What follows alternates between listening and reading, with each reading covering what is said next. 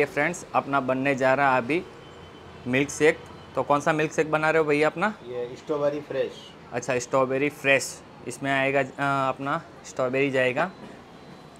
Okay ये strawberry आज की रहेगी ना? फ्रेश फ्रेश रहेगी। इसीलिए इसका नाम भी स्ट्रॉबेरी फ्रेश है। ओके इसको कटिंग करके डाला जा रहा है जार में। और ये क्या है भैया? स्ट्रॉबेरी क्रश अच्छा स्ट्रॉबेरी क्रश है ये। ओके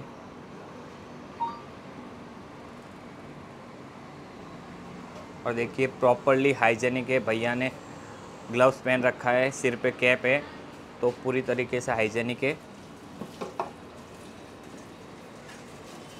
और ये जार में ट्रांसफ़र हो गया। अभी इसमें क्या जाएगा भैया? कच्चा दूध मिल्क। अच्छा मिल्क आ गया इसमें कच्चा मिल्क आ गया। ओके। इधर अपने का क्रीम है। अच्छा इसमें अभी फिक्स एक का अपना क्रीम आएगा। ये देखिए इसमें क्रीम आ गया। ओके।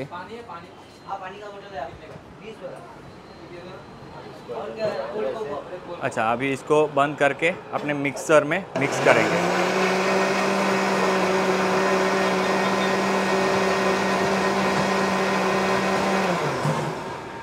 कितना टाइम लगता है बनने में? बस दो मिनट हो गया। अच्छा दो मिनट में हो गया। अच्छा ये रेडी हो चुका है। अभी इसको सर्व करेंगे ग्लास में।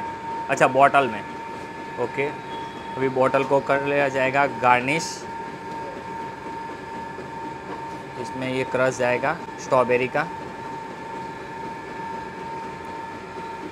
और अभी इसमें आएगा अपना जो मिल्क शेक रेडी हुआ है, वो।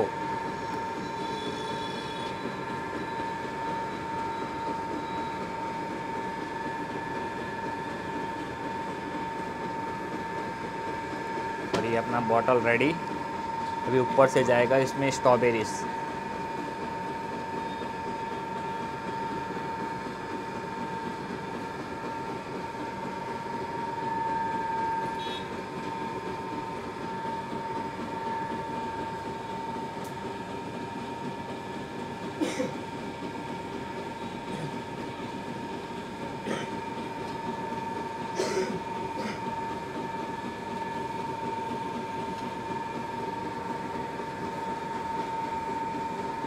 और इसमें आ गया ये कैप और ये अपना मिल्क शेक रेडी ओके, ये हो गया रेडी तो देखिए फ्रेंड्स ये है इनका जो स्ट्रॉबेरी वाला लाइव फ्रेश मिल्क शेक है।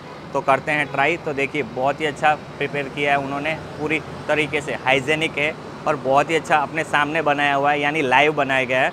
तो करते हैं कैप को ओपन ये हो गया इनका कैप ओपन और ये है इनकी स्ट्रॉ वो भी पेपर वाली है, जो रिसाइकलेबिन है।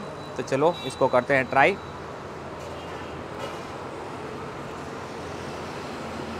हाँ हाँ हाँ.